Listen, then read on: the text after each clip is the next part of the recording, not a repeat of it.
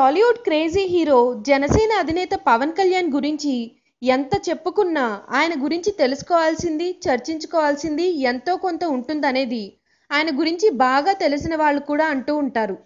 పవన్ కళ్యాణ్ గురించి చాలా మంది చాలా రకాలుగా మాట్లాడుకుంటారు.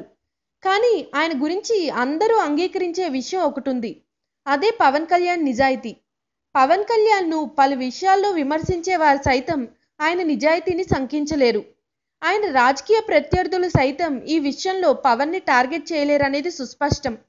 అసలు పవన్ కళ్యాణ్ ఆస్తి ఎంత? ఆయన ఖర్చు ఎంత అనే విషయం కూడా చాలా మందికి తెలీదు.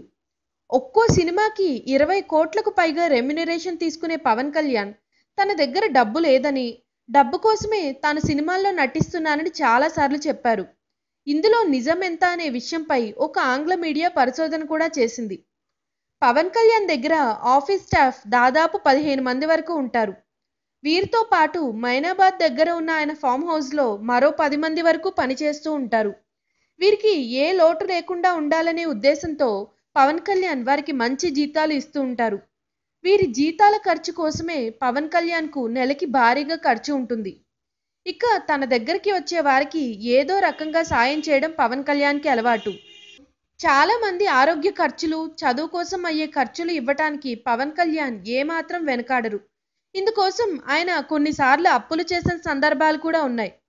అంతేకాదు రాజకీయాల్లోకి వచ్చిన తర్వాత కూడా ఎలాంటి చందాలు వసూలు చేయకుండా సొంతంగా సభలు నిర్వహిస్తున్న పవన్ కళ్యాణ్ వాటి ఖర్చును కూడా తాను స్వయంగా భరిస్తుండడం విశేషం.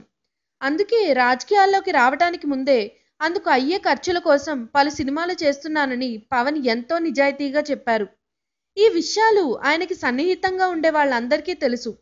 ఆయన తన కోసం తన కుటుంబం కోసం తన సంపాదనలో పది శాతానికంటే తక్కువే కేటాయిస్తారని ఆయనకి దగ్గరగా ఉండేవాళ్ళు చెప్తూ ఉంటారు.